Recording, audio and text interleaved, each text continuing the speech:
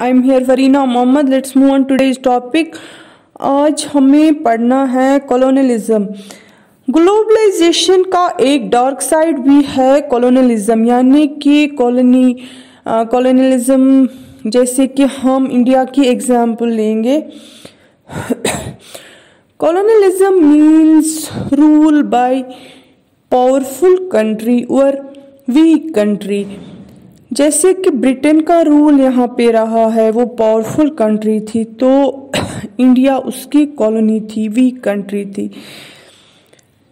अब हम आगे समझेंगे, यानी यूरोपियन कंट्रीज़ ने बाकी कंट्रीज़ के ऊपर कब्जा किया। जैसे इंडिया पे भी कब्जा किया था तो हम तो ये जो इंडिया है, इसमें क्या क्या चीज़ें हुई painful economic social ecological changes in colonial societies मतलब यूरोपियन कंट्रीज़ ने अपना तो फ़ायदा देखा, लेकिन अपनी कॉलोनीज का नुकसान किया।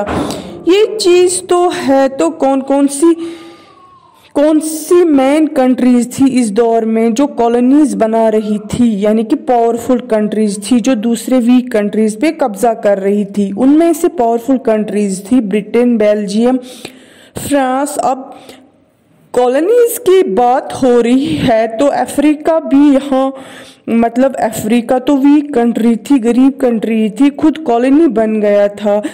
लेकिन कैसे देखो, अफ्रीकन जो है, जैसे बहुत बड़ा लैंड फॉर्म है इसके पास मतलब बहुत बड़ी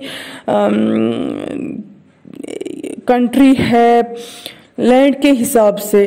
बहुत सारा रिसोर्सेज है natural resources forest covered area है, जिसकी वजह से लाइव स्टॉक बहुत ज़्यादा लाइव स्टॉक में जानवर, बेड, बकरी सब कुछ था उनके पास।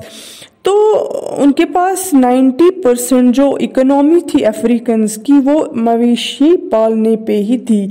और इनका जो मेन ऑक्यूपेशन था, वो लाइव स्टॉक ही था। यानी कि मवेशी। 90 परसेंट इकोनॉमी उनकी इसी पे डिपेंडेंट थी। अफ्रीका के लोग खुश थे, इनको किसी चीज़ से इंटरेस्ट नहीं था। लेकिन ब्रिटिशर्स ने क्या किया? इन्होंने कॉलोनी बनाई थी अफ्रीका में। कैसे कब्जा किया अफ्रीका को?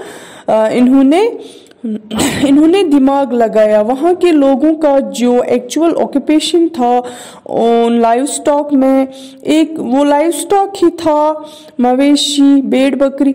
में एक बीमारी फैल गई। दैट इज़ रेंडर पेस्ट और ये रेंडर पेस्ट एक बीमारी थी मवेशियों, जिससे इनकी डेथ होती थी बेड़ बकरियों की। जो है, इस बीमारी में 90 परसेंट बेड़ बकरियाँ मारी गई। मतलब लोगों का जो मेन ऑक्यूपेशन था, वही ख़त्म हो गया।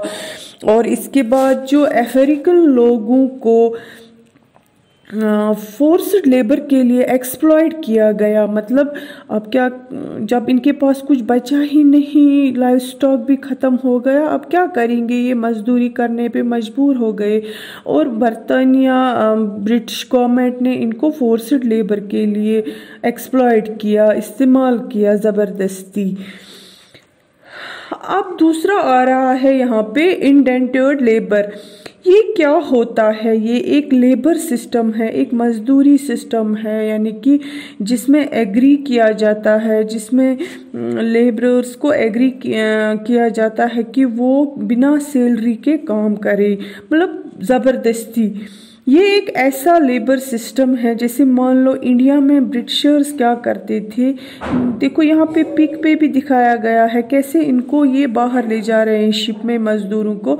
यहाँ से लोगों को उठा के मतलब अपनी अलग अलग कंट्रीज़ में एज ए स्लेव गुलाम ले जाते थे ये यूरोपियंस और इनको कॉन्ट्रैक्ट के अंदर बाँध लिया जाता था। माने, यानी कि इनको लिख कर देना पड़ता था कि एज ए स्लेव ये गुलाम काम करेंगे और बिना तनख्वाह के और अपने मन मुताबिक काम करवाते थे यूरोपियंस इनको। तो ये इनडेंटेड लेबर है जो ये चीज़ शुरू हो गई, माइग्रेशन इंडिया ने लोगों को माइग्रेट इंडिया से लोगों को माइग्रेट किया जाता था। ये जो कॉलोनीज़ थी, ये इंडिया को मतलब ब्रिटिश थी तो इंडिया इंडियंस को माइग्रेट करवाते थे माइग्रेशन पे काम करवाते थे। लाइक प्लांटेशन माइंस में रेलवेज एंड रोड कंस्ट्रक्शंस में। तो ये तो था आज का हमारा टॉपिक अल्लाह हाफिज़।